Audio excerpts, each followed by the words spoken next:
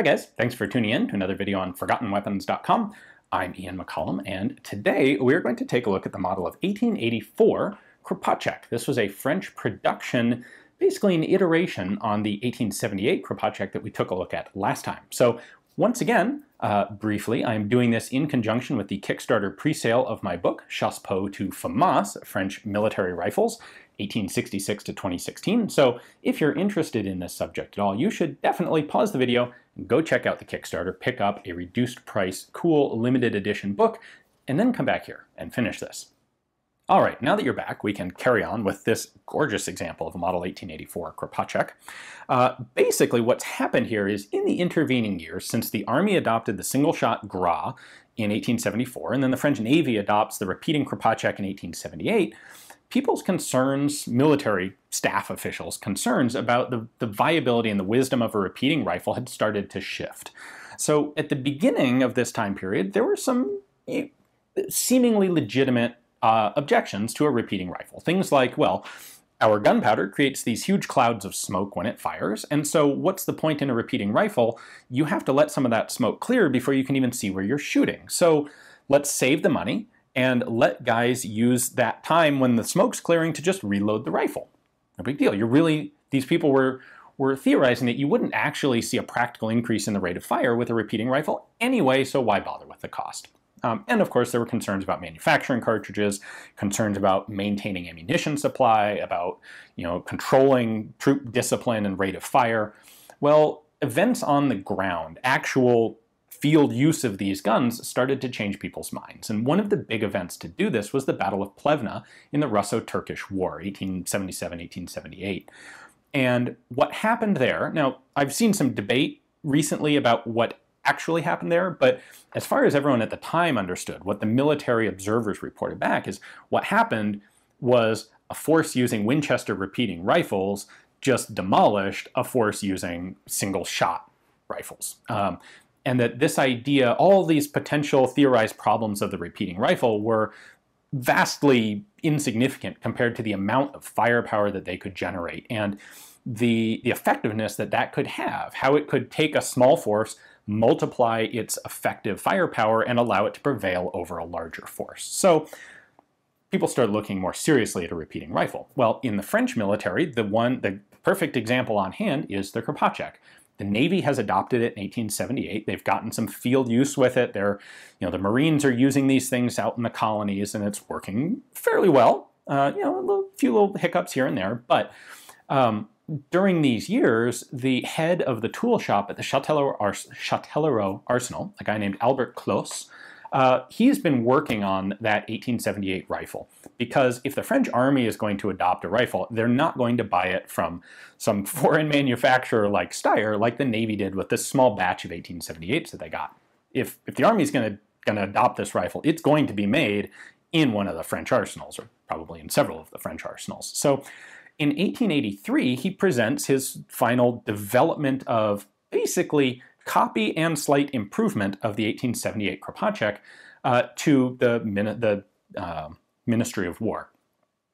And they rather like it. They go ahead and actually adopt it and put it into production in 1884. And it is this rifle. So let's take a closer look at this and let's see what he did uh, to change it from the 1878 Marine Kropatschek.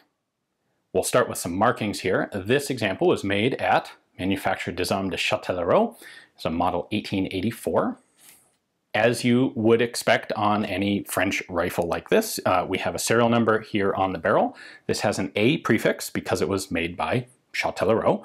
Uh, the Saint-Étienne ones will have an F prefix. Um, as usual, uh, Saint-Étienne got numbers, or got letters starting at F. Châtellerault had A, B, and C, or A, B, C, D, and E at this point. Uh, we have a rear sight still very much reminiscent of the Gras. Um, in fact, the official battle sight zero is flipped all the way forward like this, and then you have uh, range that goes up to, I believe, 1900 meters. We have our production date here on the barrel, uh, Châtellerault barrel, 1884 production, MA for Manufacture d'Armes. Then this example has just a gorgeous uh, roundel stamp still in it, identifying that this particular example was adopted into service in November of 1884 the action here is still fundamentally the same as the earlier Kropatschek, and really it's fundamentally the same that you would have on the Lebel with a couple of little exceptions. So once we open the bolt, we have a follower lifter there that's going to pop a cartridge up. When you close the bolt, that lifter drops down, which allows a round to feed out of the tube magazine onto the lifter. Uh, this was, the, the magazine tube was extended so that the 1884 has a capacity of eight rounds in the tube instead of seven on the earlier model. In fact, if I bring out the 1878, you can see that here. The tube on this ends inside the stock. The tube on the 1884 extends a little bit farther, and it's just enough farther out to afford it one extra round of capacity. The 1884 also got itself a cleaning rod along the side of the stock. Of course, it can't go centerline under the barrel because that's where the magazine tube is, the 78 did not have a rod like this, and it was judged to be important enough to add on. While we're up here at the muzzle of the rifle, I will point out that one of the weak points in the design overall, one of the things that they would beef up in the 1885 was this cutout right here tended to be a weak point and the stock tended to crack there. You needed that cutout because the bayonet mounted right up here you had to have a little bit of a relief to be able to get it back off. Uh, by the way, this bayonet was actually a standard Gras bayonet, where the 1878 had its own proprietary Steyr production bayonet. With the 1884, they wisely went back to using a model that they already had in large quantities. We still have a magazine cutoff here in the form of this little lever. So if I push that all the way forward, the bolt no longer pushes the elevator down. In fact, it's locked, uh, which means you can of course see the hole in the bolt here to sit over that little lever. So when I close the bolt, the lever, the elevator doesn't go down, which means it doesn't pull a cartridge out of the magazine. It's still in the upward position. So you would simply single feed the rifle in this configuration until you wanted to use the magazine. Then you pop that lever back, and the next time you close the bolt, the elevator goes down and it's ready to uh, feed a new cartridge. One other change here, mostly stylistic, is a change in the design of the cocking piece. So the 1884 has two notches back there uh, for the sear. One's a safety catch, a half-cock notch, so to speak, and the other is your regular firing catch, where the Kropatschek actually had four of them in there. So that was, that was deemed a little bit unnecessary, and the overall profile of the cocking piece was changed as well. But most of these things are just little stylistic uh, minor differences. Uh, fundamentally, the 78 and the 84 work the same way, just the 84 has been uh, optimized for French arsenal production. So 1884, this thing goes into production. They tool up for it at both Saint-Étienne and Châtellerault. Saint-Étienne would make 50,830 of these rifles.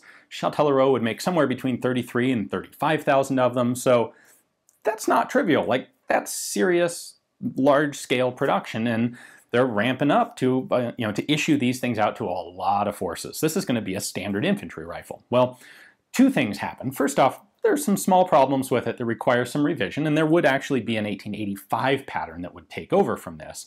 But more importantly, in 1886, smokeless powder is invented by a French chemist named, named uh, Paul Vieille. And that completely revolutionizes military small arms. And it literally makes these rifles obsolete overnight. And that would lead to the development of the Lebel.